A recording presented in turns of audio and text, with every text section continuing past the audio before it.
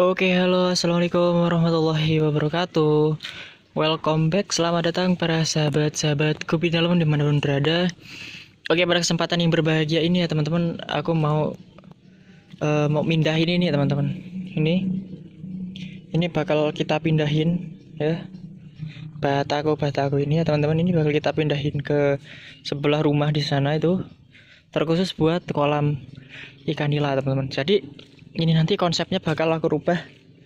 Ini juga bakal aku ratain ya teman-teman. Kemungkinan bakal aku ratain untuk masalah ratanya kapan apa enggaknya nggak tahu juga. Nah ini nanti sama tok jeret sampai ujung sana kolam. Kolam kolam. Tengah ini juga nanti kemungkinan kalau jadi kolam juga.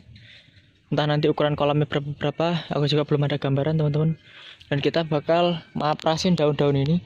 Karena kalau kolam itu teman-teman kolam terkhusus kolam untuk ikan itu teman-teman itu terlalu rimbun ya teman-teman.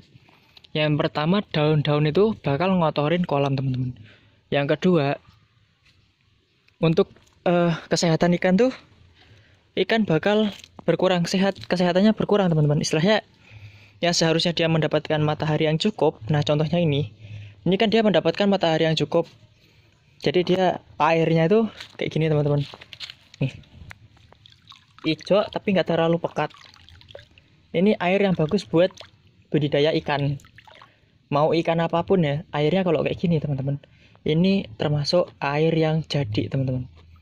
Kalau air jadi dia mau model ikan apa yang ditaruh di sini selagi itu masih ikan air tawar itu bakal sehat walafiat teman-teman. Bahkan bisa uh, gede bisa jumbo dia teman-teman.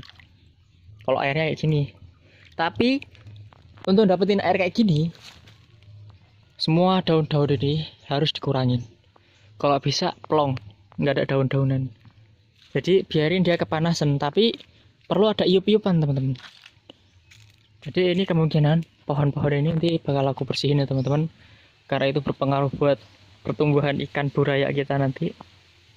Soalnya aku bakal buat tim tempat untuk buraya-buraya. Ini nanti kan ada kemungkinan seribu lima ribu eh seribu ada ya? Seribu ekor kemungkinan ada ini teman-teman seribu ekor. Lima ratus lah kasar yang ngomong lima ratus ekor teman-teman. Ini ada. Nah untuk cara pemanenannya itu sendiri teman-teman ini kan kemungkinan bisa dipanen itu umur satu bulan teman-teman. Satu bulan setelah ditaruh di kolam. Itu kalau untuk yang sehat. Kalau yang memang udah siap hamil teman-teman beli dari toko nanti terus ditaruh di kolam biasanya beranak. Itu juga ada tapi ya biasanya umumnya sih satu bulan teman-teman.